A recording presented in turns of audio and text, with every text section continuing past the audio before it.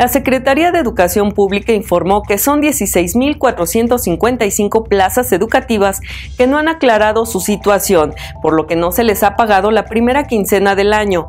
Las autoridades educativas precisaron que la mayoría de estas plazas se encuentran en Oaxaca, Chiapas y Guerrero.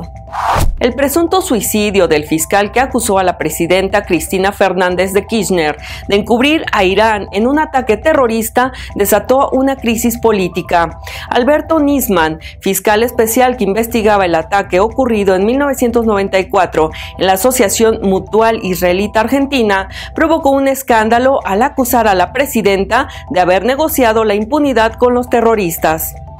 El uso de dispositivos móviles antes de dormir aumenta el riesgo de padecer trastornos del sueño. Además, disminuye su cantidad y calidad, advirtió Guadalupe Terán, coordinadora de la Clínica de Trastornos de Sueño de la UAM Iztapalapa. Gracias por su atención. Nos vemos en Vértigo de la Noche.